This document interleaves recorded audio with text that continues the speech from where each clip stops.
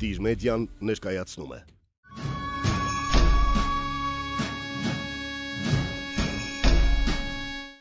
Բարև ձեզ սիրելի դիտողներ, այսօր Տիժ մեդիայի հիմք հաղորդումն է կրկին եթերում։ Ես ուրախությամբ ուզում եմ ներկայացնել մեր հարգարժան հյուրին։ Այսօր հիմք հաղորդման մեր հյուրն է. Ազգային ժողովրդավարական Բևեռի խորհրդի անդամ մեր հարգարժան դեսպան, պատմաբան Արա Պապյանը։ Ես ճիշտ ասեցի պատմաբան, առաջին մասնակցությունը, պարոն Պապյան։ Առաջին մասնակցությամբ արևելագետ է։ Այո։ Հա։ Բայց դիալոգիությունը մի քիչ լայն ընդգրկում ունի, գիտեք, նրա մեջ եւ տարածաշրջանի պատմություն կա եւ գրականություն եւ այլն, բայց ասպիրանտուրաս հենց հաջորդի պատմությանն է։ Հա, այդտեղից է տպավորվել, կարծես թե, որ պատմա պատմության ուսումնասիրություն եք շատ կատարել միջազգային իրավունքի եւ այլն։ Պարոն Պապյան, ուրախ եմ այսօր կրկին մեր տաղավարում ձեզ ողջունելու եւ մեր այսօրվա զրույց քննարկումը նվիրված կլինի հիմնական արտաքին քաղաքական, աշխարհակաղակական զարգացումներին եւ դրա հետ կապված մեր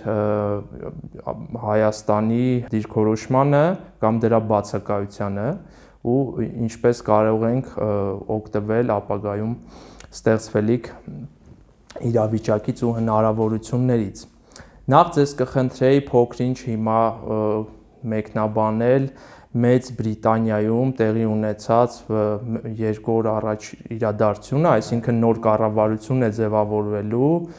կառավարության ղեկավար դարձավ նախկին պետական հարցերով քարտուղար Էլիզաբետ Տրասը կամ բարձրապես Լիզ Տրասը,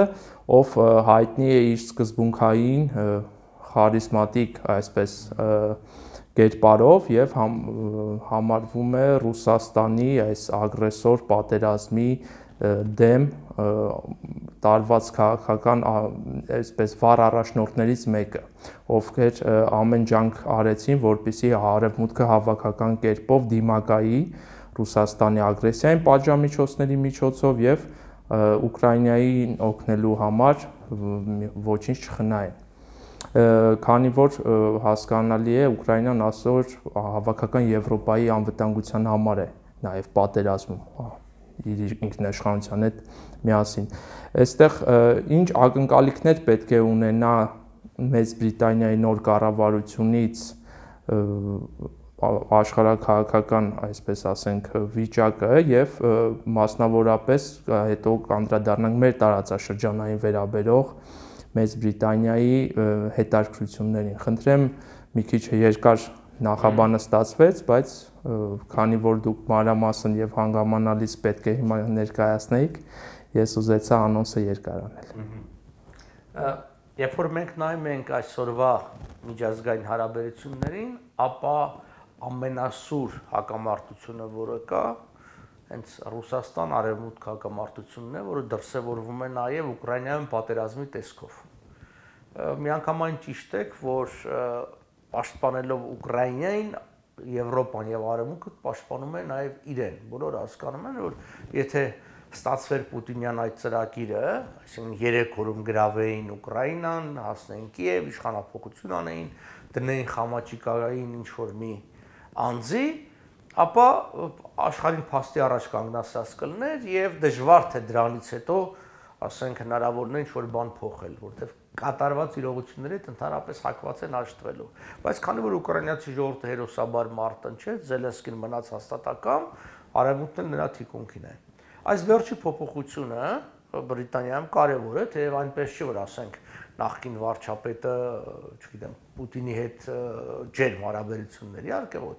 որովհետև մի շարք պատճառներով։ Ավանդաբար, այո, Բրիտանիան եւ ռուսական կայսրությունը եղել են մրցակիցներ մինչև 1907 թվականը Պետերբուրգի համաձայնագիր կա, որով բաժանեցին Ասիան երկու այս գերտերությունների միջև, այդտեղ նաև մեր շահերի հարցը կար, այսինքն հենց արևմտյան Հայաստանը պետք է անցնել Ռուսաստանին, ավելի հարավ, ասենք միջին արևելյան տարածքները, այն ինչ հետագայում դարձավ Սիրիա, Լիբանան, Իրաք եւ բան, դրանք անցան Ֆրանսիային կամ Բրիտանիային, այսինքն այն Sykes-Picot Sazonov համաձայնագիրը, որ կա էության, դա այդ գերտերությունների համաձայնության արդյունքն է։ Ցավոք սրտի բոլշևիկյան հեղափոխությունը այդ ամբողջը խառնեց։ Հիմա եւ մենք առիթ ունեցել ենք սրա մասին ասելու, որ այս ինչ տեղի ունեցավ 90-ականների սկզբին, դա ՍՍՀ, այսինքն ռուսական կայսրության տրոհման առաջին ալիքն էր եւ գաղափարախոսական դիմակայությունը վերացավ, դրա փոխարեն գալիս է աշխարհակաղակական դիմակայություն, այսինքն որ պետությունները առաջնորդվում են իրենց շահերով, տնտեսական, ռազմական եւ այլն։ Հիմա մենք տեսնում ենք Ռուսաստանը, որ Ուկրաինան գրավում է, այդտեղ առաջի հերթին ինքը ունի ռազմաքաղաքական շահերը։ Իհարկե այնտեղ կա նաև տնտեսական շահ, մասնավորապես այնտեղ հենց այդ նույն Դոնեցկի մարզում ասում են մասնագետներն ասում մեծ քանակությամբ թերթակարային նավթա հայտնաբերվել, գազի պաշարներ կան եւ այլն, այսինքն Ռուսաստանը լավ է հասկանում, որ եթե իսկապես դա այդպես է, դրանք այսպես ասենք տարբեր աղբյուրներ են ասում, բայց պաշտոնական հայտարարություն չկա, այսինքն Ուկրաինան ոչ միայն դադարելու էր Ռուսաստանից գնել գազ եւ նավթ, այլ հնարավոր որ Ուկրաինան դառնար հիմնական մատակարարողը։ Այսինքն այսինքն գամենք ստանում ենք այլ իրավիճակ։ Վստահ բարես իրավիճակը վերջանալու է նրանով, որ Ռուսաստանի կարգավիճակի իջեցում ալնելու միանշ առողջանա, որը տեղի ունեն, տեսեք։ Պուտինը ձեռովով տնգած գալիս է Հայաստան պետական այցով։ Ո՞վ էր Պուտինը երբ բանի տեղեր տնում երբևէ Հայաստանին ինքը, չէ՞ Ինչու է գալիս Հայաստան, որովհետև այլ երկիր պատրաստ չի նրա հետ հանդիպելու։ Լադիվաստոկում հանդիպում են կազմակերպում մի քանի այսպես երրորդական երկրների հետ, ցավոք սրտի որոնց մեջ նաև Հայաստանն է եւ այսպես շատ սխալ հայտարարություններ անող վարչապետը։ Մասնավորապես մենք չենք վախենում Ռուսաստանի հետ հարաբերությունների համար երկրորդային պատժամիջոցների տակ ընկնել։ Ասենք ոչ ես վախենում այդ բոլորը վախենում են քեզանից հզոր տնտեսությունները դու չես վախենում այսինքն դու ինչ ես ուզում ես ժողովրդին ուզում ես սովի մատնել կամ ուզում ես խնդիրներ առաջացնել ինչա որ այսօր Պուտինը քեզ աջակցում է իշխանության մնալու համար, սա է իրավիճակը։ Պուտինը իսկի ինքն իրեն չի կարող երաշխավորել։ Ինքը շատ վատ հայտարարություն է։ Բայց սա մեջ մենակ մի լավ բան կասեմ, որ ինքը Նիկոլ Փաշինյան վերջնականապես պատրեց իր դիմակը, այսինքն էլ այդ որ ասում են, չգիտեմ, սորոսական արևմտամետ բան, բա Այս կան ժամանակ քանի հանդիպում ա ունեցել Սորոսի հետ եւ քանի հանդիպում ա ունեցել Պուտինի հետ։ Ոնց որ թե պուտինական է եւ իր բոլոր բաներով Պուտինին ա գովում ելույթներով, քայլերով եւ այլն։ Հետևաբար ես կարծում եմ առաջիկա ամիսներին մենք սրացում կունենանք եւ վաթարացում վիճակի, բայց ամեն ինչ կավարտվի նրանով, որ Ռուսաստանին, ինչպես ասում են, տեղը կդնեն եւ անցնելով ծանրագույն մի փուլ մենք կսկսենք ավելի վիճակի բարելավման փուլ թևակողել։ Պարոն Պապյան, ինչու ես հատուկ Մեծ Բրիտանիայի այսպես գործոնը շեշտեցի, քանի որ մենք վերջին 2 տասնամյակին, գուցե քիչ ավելի, ժամանակատվածում նկատել ենք Եվրոպայի այսպես մեղմ անդեմ քաղաքականությունը, հավաքական հակազդեցությունը տոտալիտար ավտորիտար ռեժիմներին եւ այս պատերազմը այն խթանը հանդիսացավ, ճակերտավոր ասած, որ Եվրոպայում համենայն դեպս Մեծ Բրիտանյանին ամբողջ արտաքին քաղաքականությամբ ցույց է տալիս, որ այլևս այդպես շարունակելը սխալ է եւ չի կարելի։ Եւ ապրիլ ամսին հենց Լիստրասի դեռևս արտաքին գործերի նախարար պետական հարցերով քարտուղարի պաշտոններ զբաղեցնում այդ ելույթը ինքը էպոխալ պատմական վերնագրվեց եւ այնտեղ նա այս շեշտադրումները հստակ արեց նա անգամ նրանք զեր չմնաց այդ ելույթում Չինաստանին հիշատակելու եւ Չինաստանին այսպես սաստելու, որ ամբողջ համաշխարհային տնտեսության կեսից ավելին պատկանում է այսպես հավաքական արևմուտքին եւ ձեր տնտեսական աճը կախված է մեր ցանկությունից ու եթե դուք ձեզ թվում է որ կարող է ցանկապատի վրա մնաք այդպիսի պատկերավոր արտահայտություն արեց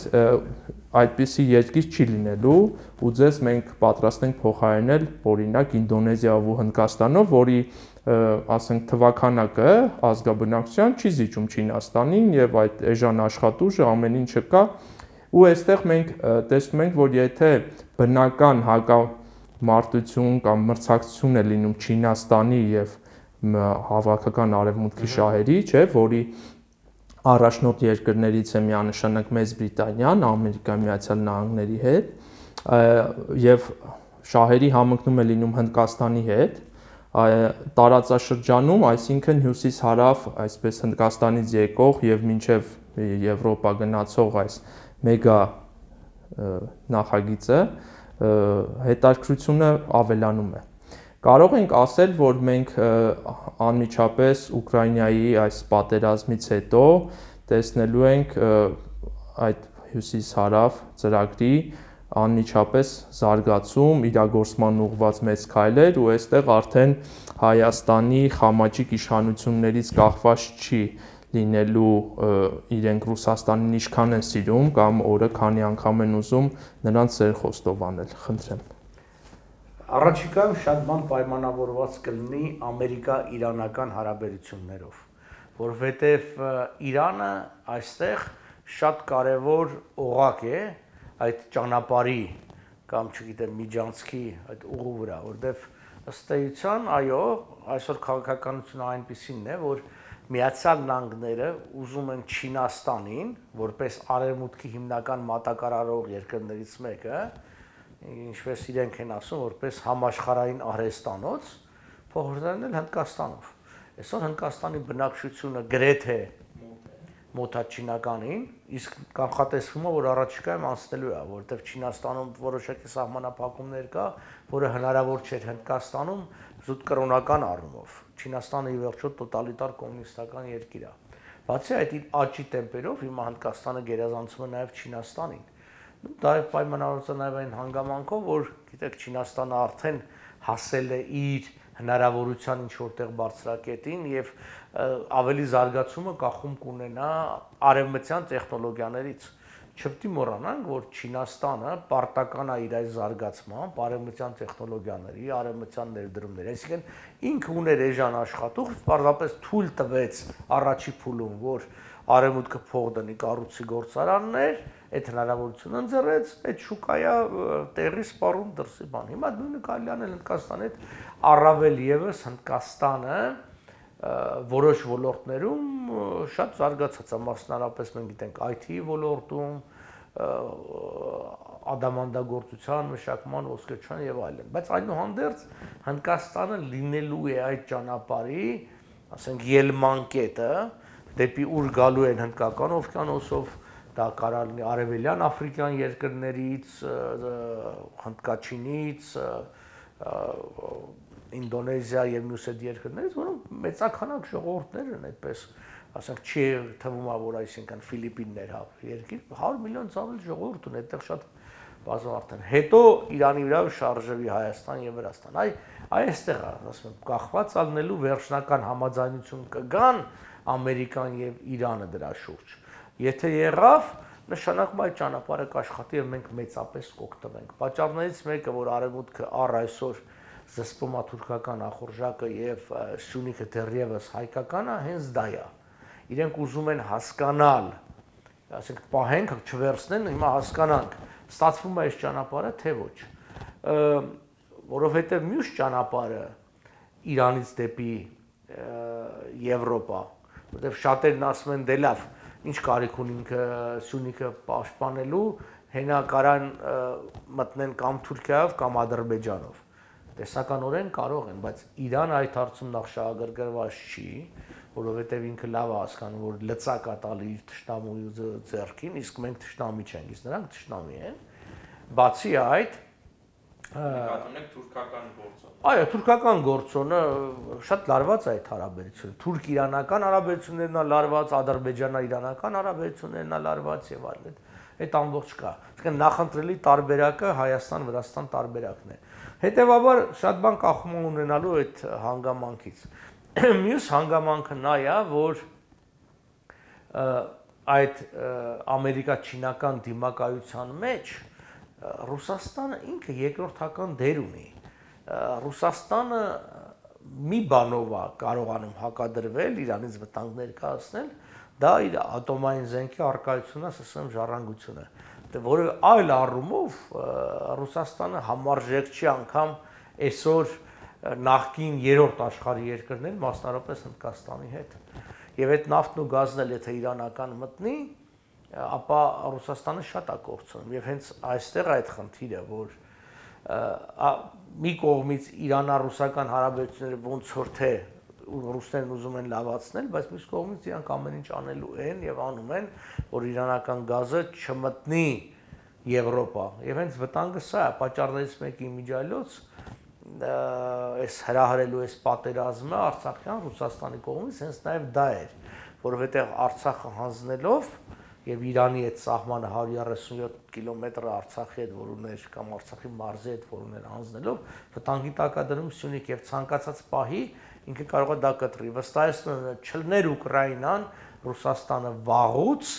դե ֆակտո գրավել էր Սյունիքը չեմ ասում դե յուրե ցևականորեն ինքը կմնար հայկական ինչ որ ցևով բայց դե ֆակտո ինչ որ օրինակ անում են մեղրի որոշ գյուղերի նկատմամբ, երբ որ արկելափակոց են դնում ինչ որ գյուղի դիմաց ու վերջ։ Դու Հայաստանի քաղաքացի քո երկրում, քո հողում ազատ տեղաշարժի իրավունք չունես։ Ինքն է քեզ ցույց տալի։ Մտնես այդ գյուղը թե ոչ։ Կամ նույն գյուղացուն իրավունք տալիս է դուրս գա թե ոչ։ Այսինքն նույնը ներ ամբողջ Սյունիքի հետ։ Բայց չստացվեց, որովհետև այսօր ճունի բավականին մարդուշ ահագին զորքեր տեղափոխել են դեպի Ուկրաինա, եւ հիմա որոշակի թուլացում կա այդ դրա նկատմամբ, այսինքն այսպես ասենք, ինչքան էլ ուզում եմ մեղադրեն ասեն, բա դուք Հայաստանի ճակատագիրը կապում եք օտար երկրների հետ, այդպես է։ Այդ այսինքն գլոբալիզացիա կոչեցյալը այդպես է, որը միշտ է եղել այսինքն աշխարհը հին աշխարհից Ալեքսանդր Մակեդոնոց սկսած է փոխ կապակցված է եղել, այսինքն մի երկրի միծերը Բալկաններում էր, մյուս ծայրը, մինչև բակտերիա, Աֆղանստան եւ այլն, դա էր։ Այն ժամանակ աշխարհը դա էր, նույնն էլ հիմա է։ Հետևաբար մեր նկատմամբ շատ պետությունների վերաբերմունքը ածանցվում է տարբեր հարցերից, մասնարարապես Ամերիկայի վերաբերմունքը Իրանի նկատմամբ, ռուս-ուկրաինական պատերազմը, այնպես որ սпасեն կարծում եմ առաջիկա երկու ամսվա ընթացքում շատ բան կպարզվի, որտեղ դրանից հետո պատերազմը թևակողելու է հրամատային փուլ, զուտ բնակլիմայական պայմանների պատճառով այնտեղ մեծ հարցակողական գործողություններ գրեթե անհնարին կդառնան, ճանապարհները բարձր, ճանապարհներ չկա, այնտեղ բանն է, ցեխաջրերի ժամանակաշրջան կգա, ինչև ձմեր, ինչև որ սարի գետին է, որ ցանդր տեխնիկան կարող անցնի, կլինի հրթիռակոծումների եւ հրետանակոծման ժամանակաշրջան այնպես որ սպասենք առաջիկա երկու ամիսի ինչա։ Չեմ բացառում, որ այստեղ Ռուսաստանը փորձ կանի Հայաստան, Վրաստանի նկատմամբ ինչ որ ավելի ուժեղացված վերահսկողություն հաստատելու։ Պարոն Պապյան, այսպես որ ամփոփենք Մեծ Բրիտանիայի թեման, վերջի հարցը այդ առումով Բևերը այ արտաքին հարաբերություններում կարևորում է շատ Մինսկի խմբի մյուս երկու համանախագահող երկրների, Ամերիկա Միացյալ Նահանգների, Ֆրանսիայի հետ հարաբերությունները եւ բազմաթիվ անգամ դիմումներ դեսպանատան դիմաց ակտիվի այսպես ցույցեր է արվել բայց չեք կարծում, որ անհրաժեշտություն կա նույնպես մեր տարածաշրջանում վերաբերվող Ռուսաստանի այսպես գաղութարար քաղաքականության վերաբերյալ Մեծ Բրիտանիայի հետ նույնպես ավելի ակտիվ ու հնարավորինս գործնական միշտ դիմումներ գործակցությունը լինի կրկնում եմ ինչի համար, քանի որ իրենք հստակ այդ առաջարկը բաց են պահել, ելի նույն այսօրվա վարչապետին պետք է հիշենք, Լիստրասին, նորընտիր ինքը ասաց, որ մենք Լեհաստանի, Ուկրաինայի, Մոլդովայի, Վրաստանի անունը նշեց այդ երկրների հետ մեծ պոտենցիալ ենք տենում հարաբերությունների զարգացման եւ մեր արժեք համակարգային քաղաքակրթական տարածելու, հա, ուղությամբ եւ բացենք նաեւ նոր երկրների համար։ Այսինքն այնտեղ հատուկ Հայաստանի կամ ինչ որ ուրիշ երկրի անուն չի տրվել, բայց դիվանագիտության լեզուն դուք բոլորիցս լավ եք հասկանում, դա նշանակում է, որ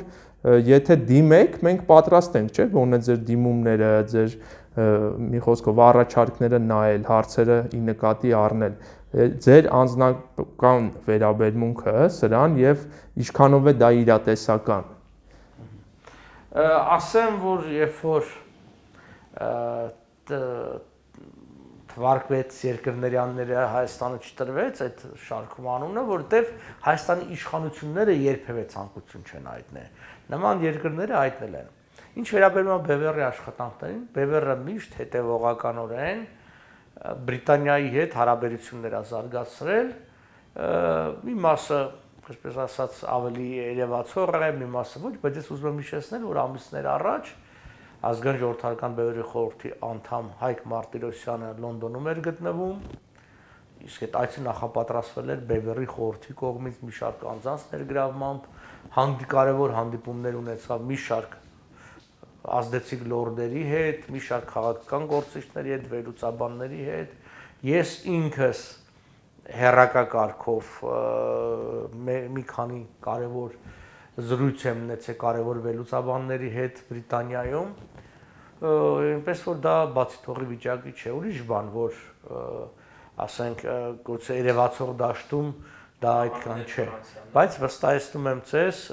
Ֆրանսիան որտեղ կհամանախագահող երկիր է հասկանում եք երբ որ մենք Արցախի արծով ինչ որ մեկին դիմում ենք դիմում ենք նրանց ովքեր լիազորված են այդ հարցով պատասխանատվություն դրա համար ասենք Բրիտանիայի այդ հարցով չես կարող դիմել բայց Բրիտանիան ուրիշ հարցով դիմել ենք այդ լեմ ասում շփումներ եւ չեմ ուզում դեռևս շատ մանրամասների մեջ գնալ մենք նոյեմբերի ամսին եւս Բրիտանիայի հետ մի կարևոր միջոցառում ունենք։ Այնպես որ մենք Այո, սպասվելիք նոյեմբերի ամսին այդ ուղղությամբ աշխատանքներ ա տարվում, ինչ որ բաներ անելու ենք։ Այդպես չի, մենք ասած ձեզ փորձում ենք համագործակցել բոլոր այն երկրների հետ, ում հետ հնարավոր է։ Այստեղ չպետք է մոռանալ, որ ի վերջո մենք ընդդիմություն ենք, պարզապես, մենք իշխանություն չենք, իսկ դա էապես սահմանափակում աշտման հնարավորությունները։ Չէ, պատկերացնում եք մենք գոնե խորհրդարանական անդիմություն լինեինք, ինչքան մեծ հնարավորություն կունենայինք։ Մենք հաստատ Կրեմլ չենք վազելու, մենք չլինելով անգամ խորհրդարանական անդիմություն, մենք Եվրոպա, Միացյալ Նահանգների հետ հարաբերություններ ենք զարգացում։ Իհարկե առաջնային, ասեմ ձեզ, առաջնային դերակատարը այսօր աշխարհում Միացյալ Նահանգներն է, Վաշինգտոնն է։ Հետևաբար մեր թիրախը հիմնականում Վաշինգտոնն է, որտեղ այդտեղ տարբեր հնարավորություններ ունենք մենք եւ անցյալից սկսած, այն ինչ որ ասենք շատ երկրների հետ չունենք, բայց դրանով հանդերձ մենք հասկանում ենք առաջին հերթին Եվրոմիության ընդհանուր դերը, հիմա արդեն Բրիտանիան դուրս եկելն է Բրիտանիայի դերը, որտեղ Բրիտանիան ավանդաբար լուրջ խաղացող ա եղել հարավային Կովկասում։ Իհարկե մեր պատմագրությունը Բրիտանիային ներկայացնում է լրիվ բացական տեսակետով հասկանալի է ռուսների, չէ։ Այո, նայեք, Բրիտանիան տարբեր դերակատարություն անցել տարբեր ժամանակաշրջաններում։ Եղել է շրջան, ես նշեցի, մինչև 1907 թվական, երբ որ մրցակից էին, հետևաբար Բրիտանիան չպետք ընդուներ ռուսական ազդեցության մեծացումը, իսկ հայերը որպես ռուսական ազդեցության սպասավորներ բնականաբար դրանից դժում էին։ Բայց այն պահին, երբ որ ռուս-բրիտանական համաձայնագիրը Սանկտ Պետերբուրգի ստորագրվեց, նրան դարձան դաշնակիցներ։ Մենք մոռանում ենք շատ կարևոր հանգամանք։ Այդ դարդանելի հայտնի օպերացիան, որտեղ բրիտանական զորքերը 250 հազարից ավել զորք տվեցին։ Ինչի են բայրանք այդ ծև կպած ուզում Ստամբուլը գրավեին այդ զորքերը, ինչի չէին նախապատրաստում, հրետանակոծում երկար, ինչու՞ որտեղ ուզում էին փրկեին հայերին սեփական զինվորներին զոհ էին տալիս առանց նախապատրաստ մի քանի ամիս փորձեցին ճակատային հարցակումով Ստամբուլը վերցնել, տապալել Օսմանյան իշխանությանը, մինչև դա չհաջողվեց 14 թվականի ամբողջ աշունը գարունը 15 թվականի ապրիլ 23-ին դատարեցվեց Դարդանելի օպերացիան, ապրիլ 24-ին արդեն ձերբակալեցին հայ մտավորականներին եւ սկսեց արդեն պաշտոնական ցեղասպանության փուլը։ Եթե բրիտանացիներին հաջողվեր գրավել Կոստանդնապոլիսը լրիվ այլ էր լինելու հայրիճը, այսինքն չէր սկսելու այդ մեծ բռնագաղթը, այդտեղ հաջորդող ցեղասպանություն եւ այլն։ Ես մի օրինակը բերեցի, որի մասին մերոնք չեն խոսում եւ ուրացել են, որ կրկնում են բրիտանական կայսրությունը սեփական զինվորներին զոհեր մատուցում հանուն հայերի փրկության 250000 զոհ ա տվել 6 ամսվա ընթացքում ինքը կարող էր նավերը կանգնացնել հեռու ամիսներով գնդակոծել եւ այդքան զոհ չկա չտար առ այսօր Ավստրալիան եւ Նոր Զելանդիան դեռ այդ անզակի ուժերն էին իրենց մոտ հատուկ ոգեկոչման օր ունեն եւ մեծ պատվիրակություն ա միշտ գնում հենց ապրիլ 23-ին այդ Ստամբուլի կողքերը գտնվող այդ գերեզմանոցները, որտեղ այնքան շատ են զոհվել բրիտանացիք, իսկ ավստրալիացի եւ նոր զելանդացի բրիտանական կայսրության մաս են, որոնք հսկայական գերեզմաններ կա։ Էլ չեմ խոսում, որ առաջին հանրապետության տարիներին բա ով գրավեց եւ Նախիջևանը տվեց Հայաստանին Բրիտանիան, ով Կարսը տվեց Հայաստանին Բրիտանիան, ով Բաքվում հայերի հետ միասին զենքը ձեր-ձերքի կրված կրվեց թուրք-ադրբեջանական զորքի դեմ եւ ամեն մի 8-րդ, 10-րդ բրիտանացի զինվորը զոհվեց, ով էր որ Բաղդադից ավտոմեքենաներով, զորքերով անցնելով հազարավոր կիլոմետրեր մոտ 1000 եկավ հասավ Բաքու բրիտանական գեներալ Դեստերվիլներ, որը եկավ հայերին օգնելու։ Այն դեպքում, երբ որ ռուս բոլշևիկները ընդհակառակը համագործակցում էին թուրքերի հետ եւ հայերի դեմ, դեռ պատմությունը կեղծ է ներկայացված միշտ հիշում են ինչ որ 19-րդ դարի ինչ որ ասված կամ չասված խոսքեր եւ այլն, հա 19-րդ դար ուրիշ է եղել եւ կրկնում եմ 19-րդ դարում դա եղել է Ամերիկա կներեք բրիտանա-ռուսական հակամարտության հետևանք, որը բան։ Հիմա գանք ներկա ժամանակներին սխալը որն է ներկա իշխանությունները ընդհանրապես պիտի լավ հասկանալ երբ որ դուք Ռուսաստանի հետ եք Ռուսաստանի բոլոր ճշտամիները ձեր ճշտամին են Բայց դա դեռ չի շակ որ Ռուսաստանը քո բարեկամն է։ Այս սա ամենավատը, այսինքն մենք ճշտամիներ ենք ձեռք բերում առանց Ռուսաստանի բարեկամական, գործնական դիրքորոշումը եւ տեսեք ինչպիսի սերտ հարաբերություններ ամեն օր հիմա այս վերջերս եւս էլ իրենք հայտարարեցին, գնացին մասնակցեցին ռուսների նկատնեմ Բաքվում ադրբեջանքի հերթական ցուցահանդեսների մասնակցան Ռուսաստանը ուզում է արդեն գոնե դրա մասին եղել լա տեղեկություն այս 500 հրթիռներ վաճառել Ադրբեջանին դա այն զինատեսակն է որ անգամ ռուսական բանակը չունի պատկերացնում եք որովհետև փողի խաթր այսօր ռուսները ամեն ինչի պատրաստ են նրանք փող ունեն առնում են բայց եթե փողի խաթր իրանք ծախում են ամեն ինչ մենք ոնց կարող ենք դաշնակից համարել այնպես որ ասած հետեւյալն է որ բրիտանա-ռուսական հարաբերությունները սրվելու են, մեզ պետքա շատ ճիշտ կողնորոշվել, պետք չի ընկնել ոնց որ ասած ռուսների առաջ դրոշակակիրի դեր կատարել եւ ասել մենք պատժամիջոցներից չենք վախենում։ Բոլորն են վախենում պատժամիջոցներին, եթե մարդ ստապ գնահատում է իրավիճակը, պետք է հասկանա, որ չի կարելի սեփական պետությունը եւ սեփական ժողովրդի բարեկեցությունը զոհաբերել հանուն սեփական աթոռի պահպանման։ Ինչ անում է ներկայ իշխանությունը։ Պարոն Պապյան, գուցե դա մի քիչ շեղվենք մեր ինչ որ պաթոլոգիկ երևույթ է, որովհետև նույն մեր ժողովրդի մի զգալի հատված Արցախի համար պատրաստ չէր կռվելու, ամեն ինչ արել են, որպեսի իրենց զավակները, չէ, հանկարծ բանակ չգնան Հայաստանում ռուսական ազնագրեր, բայց հիմա կարծես այդպես դժգոհություն չկա, որ Ռուսաստանի կազմից գնան կռվեն Ուկրաինայի դեմ, սովետական միության համար էլ, չէ, մենք 100 հազարավոր զոհեր ենք տվել 300 հազարից ավել միայն ՀԽՍՀ-ից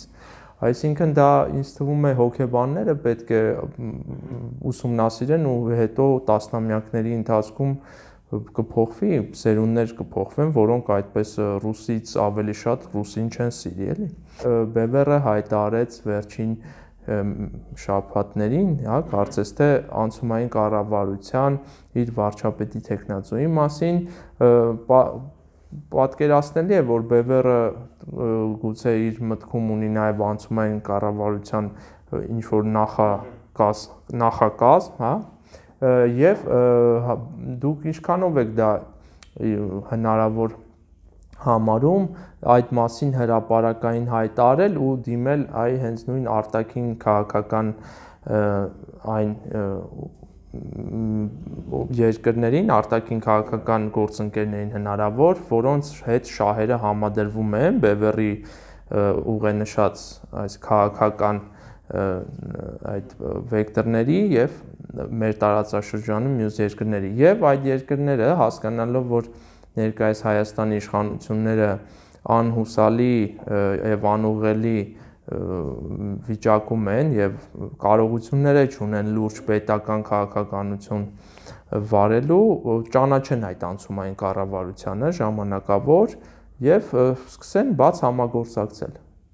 Չէ, եթե դուք նկատում եք, այսինքն ասել ճանաչելով այն, որ գործող իշխանության հետ զուգահեռ լինի մեկ այլ ճանաչված կառավարություն, դա չի կարող լինել նման բան, բայց որ հենց նույն բրիտանական համակարգի մեջ կա ստվերային կառավարություն կոչեցյալը, դա այն է, որ ասենք ընդդիմադիր կուսակցությունը ինքը ունի իր կառավարությունը, այնտեղ ամեն մեկ ինչ որ ոլորտի պատասխանատու է եւ ժողովուրդը մոտավորապես պատկերացնում է, որ եթե սրան գնում են, մյուսները ովքեր են ինչ են բանալու։ Մեզ մոտ իհարկե մի քիչ խառնա վիճակը, որովհետեւ մեզ մոտ այսպես երկ կուսակցական համակարգ չի, մեզ մոտ բազմակուսակցա, որտեղ չես հասկանում ով է հաճախ, որովհետեւ մի կողմից իրենք հրճակում են պրոարևմտյան կուսակցություններ ամեն օր էսպես ստատուսներ են գրում արևմուտքին գով կանելով մյուս կողմից գնում են ասենք Նիկոլ Փաշինյանի ձեռքն են սեղմում հանդիպում են սեղանի շուրջ քննարկում են անգամ այն բանից հետո որ Նիկոլ Փաշինյանը օրինակ ասում է սպասիբա Վլադիմիր Վլադիմիր զա օպերատիվն է չգիտեմ ինչ կամ ասում մենք հանուն Ռուսաստանի պատրաստ ենք պատժամիջոցների տակ այսինքն հիմա հասկանանք ձեր իրական պատկերը ո՞րն է, երբ որ սեղանի շուրջ միասին եք նստած, թե երբ որ քննադատում եք, ասենք Ռուսաստանին, որտեղ չի կարող նույն կուսակցությունը, նույն անձը երկու իրարամերժ տեսակետ ունենալ իր մեջ, եթե իհարկե մարդ երկրությամբ չի տարապում, որը շիզոֆրենիայի որոշակի գիտեք ձևերից մեկն է։ Հիմա, բայց մենք հայտարարելով մեր վարչապետի թույքնացուն, մենք հստակ հայտ ենք ներկայացնում, որ նախ առաջինը մենք պատրաստ ենք այդ պատասխանատվության, երկրորդը նաև սա ուղերձա արևմուտքին բոլոր այն ուժերին, որոնք ցավոք սրտի Հայաստանը դիտարկում են, ինչպես իրենք են ասում, hopelessly pro-Russian, անհուսորեն պրոռուսական, որ չէ, եղբայր, այս ժողովրդի մեջ կա թեկուզ եւ փոքրամասնություն, ստապ դատողություն, որտեվ այն ինչ որ ես ձեզ բրիտանացիների մասին մի երկու բան ասեցի, պատմական փաստի, դրանք փաստեր են, ես դա կարամ ապացուցեմ, դա հայտնի փաստեր են Ես վստահ եմ, մեջորտի մեծ մասը չգիտի։ Մեջորտի մեծ մասը գիտի, որ բրիտանական նավերը չեն կարող բարձրանալ հայկական լեռները։ Ով ասե, երբ ասե, ինչի ասել, ինչ կոնտեքստում, այդ կարևոր չի, կարևորը ռոպագանդան է։ Կարևորը եւ այլն է։ Բանը։ Դրա համար այսինքն նման հայտարարությունը եւ մեր մտքում այո կա մենք գիտենք ով ինչ ոլորտի պատասխանատու է ով ինչ կարող է անել բայց մի բան հստակեցնեմ ազգային ժողովրդական բևերը երբևէ չի մտածել, որ ինքը պիտի կամ իր կադրերով պիտի ինչ ասեմ, ոնց որ Նիկոլ Փաշինյանն անում, լցնի պետական ապարատը, չէ։ Այստեղ խնդիրը գնում է ուղենիշային կառավարման մասին։ Գիտեք, ինչպես օրինակի համար նավապետը ընտրում է ուղությունը, կարևորը ճիշտ ուղությունն է, որն է քո նավը անգիստը, ուր ես ուզում գնաս, հետեւաբար ինքը բռնում է ճիշտ համընթաց քամին, բայց բացի այդ քամին կան թիավարներ, այդ թիավարները, որոնք պիտի արագություն հաղորդեն նավին տվյալ դեպքում երկրին, իրենք կարող են լինել տարբեր մարդիկ, տարբեր նրա պրոֆեսիոնալներ, կուսակցականներ, ոչ կուսակցականներ եւ այլն, որովհետեւ այստեղ կարևորը ընդհանուր ուղությունն է, ճիշտ կողնորոշումն է։ Շատ-շատ ոլորտներ դրանք զուտ վարչական կառավարման հարց են իրենից ներկայացնում։ Թեև ի վերջո այդ կողմնորոշումը բերում է նաև այդ վարչական որակյալ կառավարումը, որտեղ երբ որ մենք ունենք ռուսական կողմնորոշում, ուրեմն մեր կառավարման ձևն էլ ռուսական է։ Իսկ այդ կառավարման ձևը ի՞նչն է։ Խարսխվածա կաշառակերության, գանձագողության եւ այդ ամբողջի վրա։ Հա, հետո մյուս կողմից այդ սարքավորումները, ասենք, իրենք չունեն գիտեք, օրինակ բանկային համակարգը Հայաստանում համարվում է իբր թե լավագույններից մեկը, այ ես այսօր շփում եմ նեցը, ինչ ասեմ, ահա որա։ Եթե էսի լավն է, բավատը որն է։ Չէ, իրանք կայացած են գուցե համարում որ տոտալ ազգաբնակչությանը ստրկացրել են ֆինանսապես։ Միգուցե այդ ձևը, բայց այն թղթաբանությամբ, այն ինչ որ ուզում են անհասկանալի բանա, այսինքն ասած հետեւյալն է, եթե որ երբ որ դու հետևում ես մի քաղաքակրթական օրինակի, դու աշխատում ես դրան նմանվել ճիշտ է, դու երբեք օրինակին չես հասնում, բայց այդ օրինակը քեզ շատ կարևոր է։ Վերցնենք հասարակ մի բան։ Հուն ժողովուրդը այսօր երկու պետականություն ունի՝ Հունաստան եւ Կիպրոս։ Կիպրոսը մոտ 100 տարի, 90 տարի եղել է բրիտանական կայսրության վերահսկողության ներքո եւ այլն։ Կիպրոսում կառավարման այլ համակարգը շատ ավելի արդյունավետ, շատ ավելի ժամանակակից, որտեղ իրենք արդեն բրիտանական ոճի մեջ են մտել։ Եվ երբ որ դուք նայում եք այսօր աշխարհի շատ-շատ երկրներ, անգամ ծոցի երկրները արաբական, նրանք ովքեր եղել են նախքին բրիտանական գաղութներ, նրանք կառավարման շատ ավելի արդյունավետ են։ Չլնեին իրան գաղութ, ես ստամ, եթե իրանք լինեն Ռուսաստանի գաղութ, անկախանալուց հետո էլ նույնքան լինելու էին հետամնաց, ինչպես չի կարող գաղութ ավելի զարգացած լինել, քան մետրոպոլիան, չի լինում նման բան։ Բայց երբ որ դու ունես այլ օրինակներ, այլ ուղենիշներ, դրա համար մեր բախտը չբերեց իհարկե, երբ որ ամնը չլինելով ազգերի լիգայի անդամ երկիր, հետեւաբար չէր կարող ստանձնել Հայաստանի մանդատը եւ չստանձնեց եւ այլն, բայց եկեք մի պահ պատկերացնենք, որ ամնը 1920 թվականին ստանձնում էր Հայաստանի մանդատը 165000 քառակուսի կիլոմետրով, իսկ մանդատը ընդհանուր էր ասված նաև թուրքական տարածք, բայց ես Հայաստանի մասն եմ խոսում, եւ 20-ից 1940 թվականը մենք ոնց ասած Ամերիկայի ձեռքի տակ զարգանում էինք լրիվ ուրիշ Հայաստան էր, չէ՞, նել ուրիշ մտածողություն էր նել, այն սովետական 20-30-ական թվականները, որ դրեցին մարդկանց, խեղեցին, ջարդեցին, վախեցրեցին, վարժեցրեցին, նույն ասենք կաշառակերությանն ու գանձագողությանը շատ դժվար է բան անել փոխել անցումային շատ։ Դրա համար ամփոփելով ասեմ հետեւյալը, այո, մենք պատասխանատվությունից չենք խուսափում, մենք մեր գործընկերներին արևմուտքում եւ գործով եւ նվիրվածությամբ ցենք տվել որ մենք այդ արժեքներին հավատարիմ ենք ի տարբերություն միայն խոսացող արևմտամետներին որոնք պատրաստ են նաև համագործակցել հենց այդ արևմուտքի դեմ գործողների հետ մենք պատրաստ չենք մենք մենք պատրաստ ենք իրական լուրջ գործընկերային հարաբերությունների մի բարբերությունել եմ ուզում ասել ի պատասխան նրանց որ ասում են ինչ տարբերություն, սրանք ռուսամետ են, դուք արևմտամետ են։ Ոչ, տարբերությունը մեծ է, որովհետև ռուսամետությունը հանգեցնում է հյուսիսային Կորեայի, արևմտամետությունը հարավային Կորեայի։ Եվ եթե իրանց կյանքի որակի եւ երկրի մեջ տարբերություն չկա, ես ասել եմ չեմ, բայց կա։ Նայեք այդ արևմտյան երկրների կյանքի որակը, անվտանգության որակը։ Այսօր Հունաստանը, որ կարողանում է այսպես զիք մնալ, շնորհի Ֆրանսիայի եւ Միացյալ Նահանգների աջակցությանն է Թուրքիայի դեմ, Թող Ռուսաստանը լիներ Հունաստանի դաշնակիցը, այսօր կուլ էր տվել Թուրքիան Հունաստանին վաղուց։ Նաև այն մյուս տեսակետը, որ մենք պիտի ապավինենք միայն մեր ուժերին, ոչ արևելք, ոչ դա հնարավոր չէ։ Մենք ճունենք բավարար ուժեր, ռեսուրսներ, հնարավորություններ, տեխնոլոգիաներ, ներկայումս այդ գիծը տանելու։ Որևէ երկիր այդ բանը չունի։ Իրանի օրինակ ամենապարզ օրինակն է, որ 79 թվականն եղափոխություն եղավ, իրենց կարգախոսներ դա շարք նաղարբ Էնղելաբե իսլամի։ Ոչ արևելք, ոչ արևոտ իսլամական հեղափոխություն։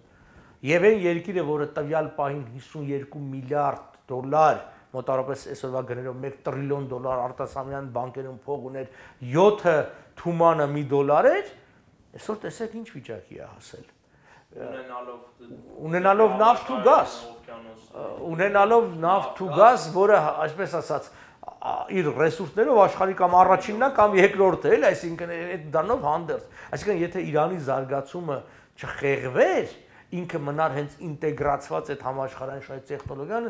ինչպես շահն էր ժամանակին ասում, որ 2000-ականների սկզբին Իրանը կլներ աշխարհի 5-րդ տնտեսությունը։ Ինքը ուներ այդ հնարավորությունը։ Մեր ճակատագիրն էլ լրիվ ուրիշ կլներ։ Դուք պատկերացնում եք, չէ՞, աշխարհի 5-րդ տնտեսությունը լիներ մեզ հարևան, զարգացած իր բոլոր հնարավորությունները գումարած, այո, մենք Իրանի հետ եղել եւ մնում ենք բարեկամ ժողովուրդներ։ Ես մի իրանցի կանադացի իրանցի, որը Օնտարիոյի նախարարներից էր, Էջմիածին տարա, նայեց այն արձանը, այդ որ մտնում մուտքի վրա այդ խորականդակները կա, տրթած երրորդը, թակավորը եւ Սահակ Պարթևի այդ բաննա, չէ՞։ Սենց ասես ովքեր են ասի սրանք, բայց այսպես երկուսն էլ բան են, չէ՞։ Մերոնցից ասի, մերոնցիցը ո՞րն է կա։ Դա ասում է Պարթև են, չէ՞, ասի, հա։ Մեկը արշակունների թևներ, չէ՞, մյուսն էլ բաները Գրիգոր Լուսավորիչը, բանն է, Լուսավորիչներ կներեք։ Ամենտեղ Լուսավորիչի տոհմն էլ գիտենք, որ բանն է, դա պարթևական տոհմ է։ Հետևաբար մենք այնքան մոտ ենք Իրանի հետ եղել, ոմանք հենց պատճառաբանում են քրիստոնեության ընդունելը հենց այն հարցով, որ պետք է մի բանով տարբերակվել, տարբերվել, որովհետեւ կուլ չգնալ իրանական մշակույթին, որովհետեւ մեր աստվածներն էլ էին արդեն նույնը դարել։ Ասածս հետեւյալն է ոչ մեկուսացումը ազգային սնապահարության ինչ որ քողի տակ ոչ հետևելը հետամնաց բռնատիրական երկրներն ես վերջերս մի հայտնի դեմք Ամերիկայում գովքերանում ասում ես որ եկա իշխանության Հյուսիսային Կորեայում սարքելու հետո 37 թիվ որ երնեվ տան 37 թվին եւ մարդը պարտանում է դրան եւ Ամերիկայում հա Հայաստանում Հայաստանում եւ ամնում ապրող մեր ազգակիցները, որոնք վայելում են այդ դեմոկրատիան, Հայաստանի ժողովրդի համար Հյուսիսային Կորեային ուզում։ Հասկանում եք, ոչ մեկ չել ասել, ինչ ես ասում, եղի 37 թիվ, ինչ Հյուսիսային Կորեա։ Այսինքն բոլոր նստած ծափ էին տալի եւ բան, որովհետեւ այդ մարդն ասում էր, ես այսպես կանեմ, ես բան կանեմ, կնստեմ, նստեմ, կգնդակարեմ, բան, իսկեն մի անգամ օրենքի անուն չտրվեց, որ պիտի դարի օրենքով չէ։ Մեզ մոտ լինելու է օրեն ամեն ինչ օրենքով եւ չլինելու հյուսային Կորեա։ Մեր մոտ կարող է լինի հարավային Կորեա։ Պարոն Պապյան, դուք ճիշտ նշեցիք, մեր ազգ մեր ազգի գուցե շատ փոքր հատված, բայց որակյալ հատված այդ մարդկանց քանակը գուցե մի քանի հազար կամ 1-2 տասնյակ հազարների է ասնում, որոնք խորությամբ գիտակցում են այս կարևոր հարցերը եւ քաղաքական կողմնորոշներ կողմնորոշումներում իրենց ճիշտ են դրսևորում, հա, այսինքն մի կրակից չեն ուզում դուրս գան, մի այլ կրակի մեջ ընկնեն, չէ՞։ Հիմա մենք տեսնում ենք օրինակ մեր ժողովրդի մեջ որ քաղաքականապես ոչ հասուն հատված կա, որ մակերեսօրիններն ասեն կարողա մտածի դե լավ Ռուսաստանի ազդեցությունը փոքրանում է, հիմա Չինաստանը թող մեզ տիրություն անի, չէ, կամ ասենք ուրիշ մի հարց լավ չպատկերացնի, բայց այստեղ հստակ է, չէ, որ մեր փաստորեն պետականության զարգացումը ու կայացումը բացառապես այսօր եւ մոտակա տասնամյակներին երևում է որ արևմուտքի քաղաքակիրթ աշխարհի հետ է համադրվում եւ չեն կարող մենք անլուրջություն թույլ տալ ու ինչպես ասվում է եթե անդադ նույն քայլեր անես նույն արդյունք կստաց հիմա մենք 31-2 տարի տեսել ենք ռուսական ազդեցությունը, չէ, այդ համակարգի մեջ մնալը ինչպիսի բան դեգրադացիա է տանում, զարգացում չի լինում։ Հիմա ակնհայտ է, չէ, որ մենք 31 տարի էլ եթե այդ ձև մնանք, այդ այդ ձև էլ չեն կարող ավելի վատա, չէ, լինելու։ Ոնց կարողա լավ արդյունք ունենալ։ Եթե մյուս կողմից մենք նայում ենք այն երկրներին, որոնք ուզում են Ռուսաստանից փոխվել, համենայն դեպս նրանք կարող է 2 տարում, 5 տարում չեն դառնում Շվեյցարիա, Ավստրիա, բայց նրանք գոնե չեն այսպես փակում այդ հնարավորությունները իրենց արժև։ Եթե մենք մնում ենք, այս ուզեցա ձեր ասածը ավելի པարզեցնեմ, այս ակումբի մեջ մենք 100%-ով փակում ենք մեր հնարավորությունները զարգացման, ճիշտ է կամ կայացման։ Իհարկե։ Այդպիսի վիճակում ենք։ Շատ կարևոր է հստակ գիտակցել մենք ինչ պետություն ենք ուզում կառուցել որովհետև մենք եթե այդ պետությունը կառուցում ենք օրինակ Իրանի հովանու տակ,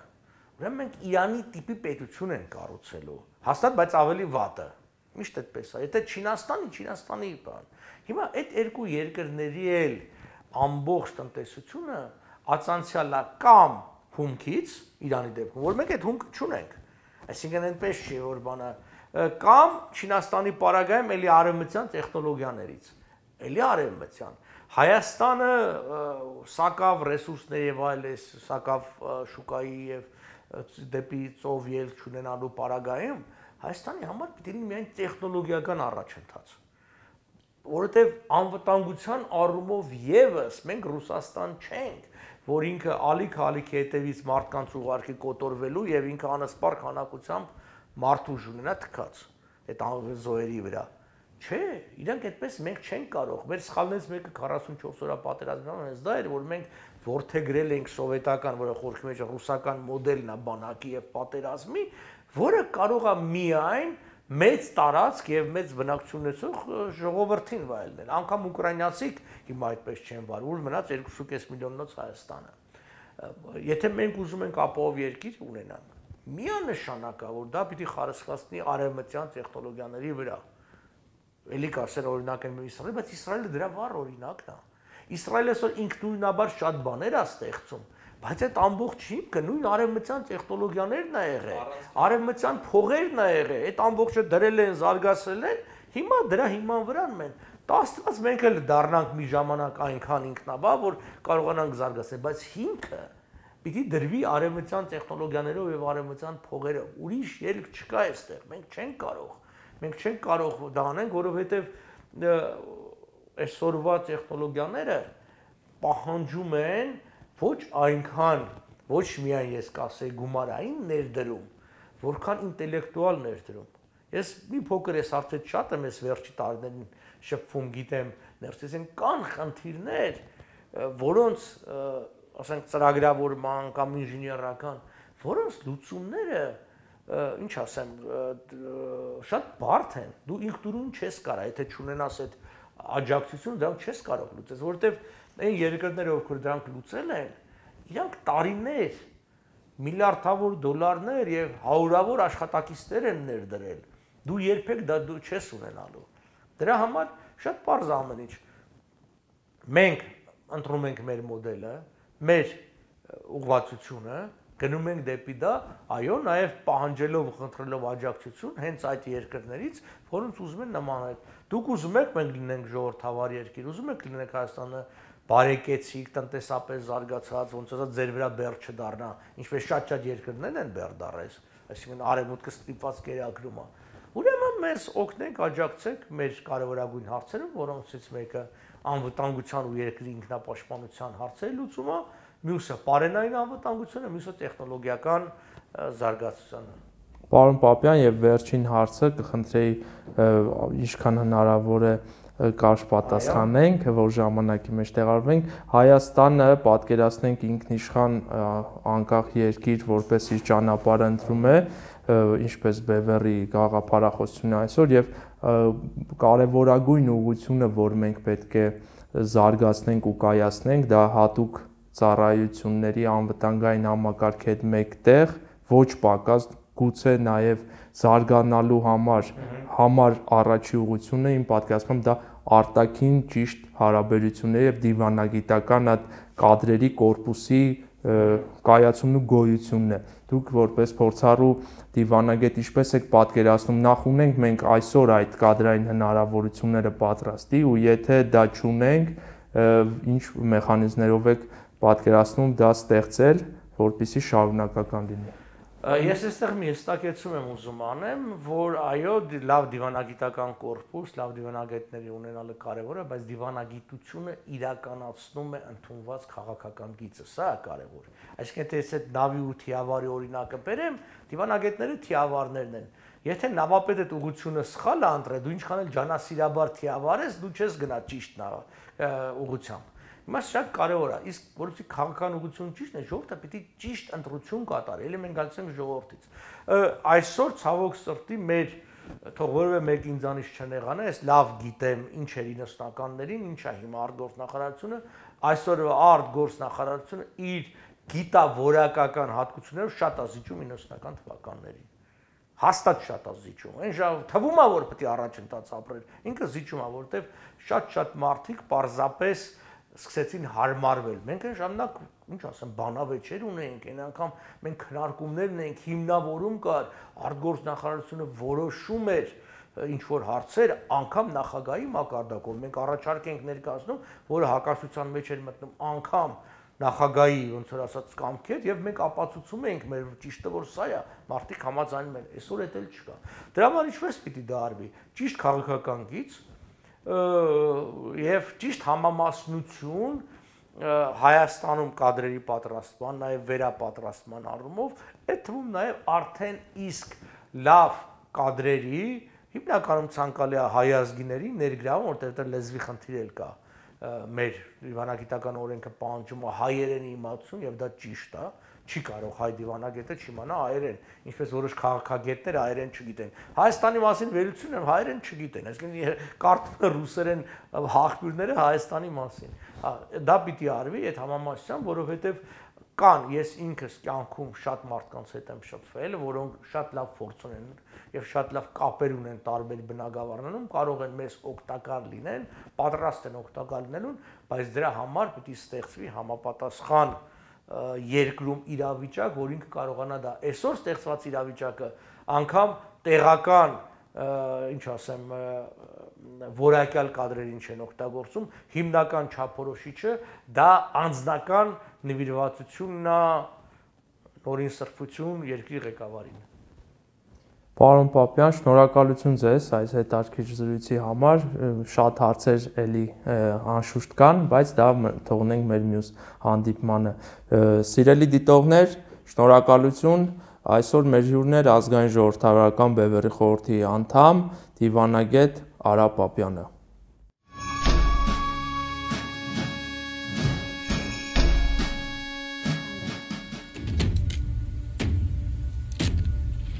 Բաժանորդագրվեք Դիր մեդիայի ալիքին։